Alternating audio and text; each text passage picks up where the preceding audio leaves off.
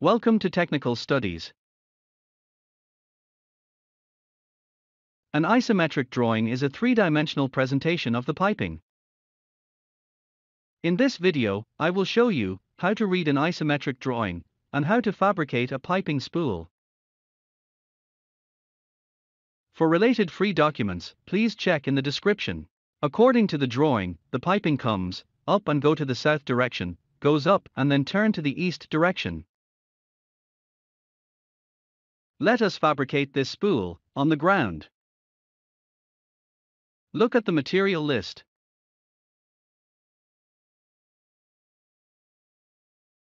Item number 1 is a pipe. The size is 6 inches. What is BE? BE means bevel end. Pipe schedule is 40. API 5L pipes are available in welded and seamless types according to their manufacturing methods. This pipe is welded type. Galvanization will be done after completing the fabrication of the spool. Item number 2 is a large radius elbow.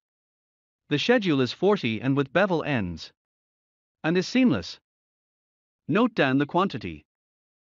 Item number 3 is class 150, weld neck, raise face flange.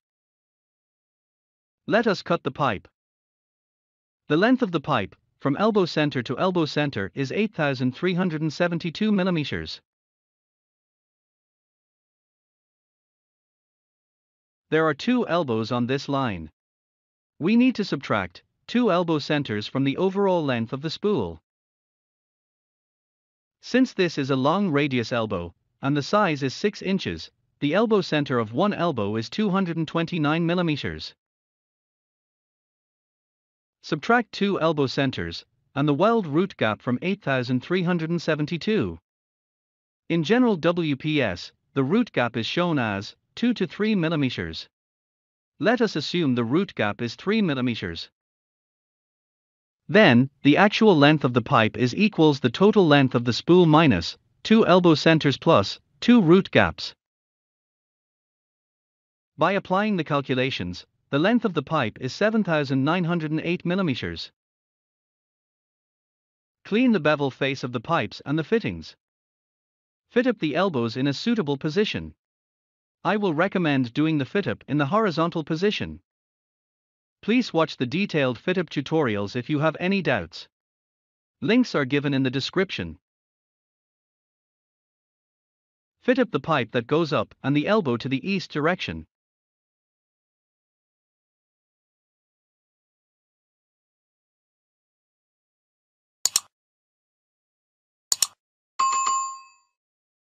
Since, fitting a flange in this position is easy, fit up the flange that faces the direction of the east.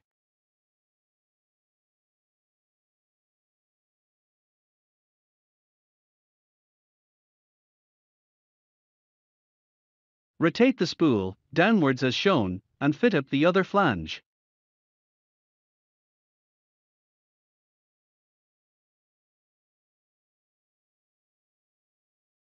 Thank you for watching. Please comment.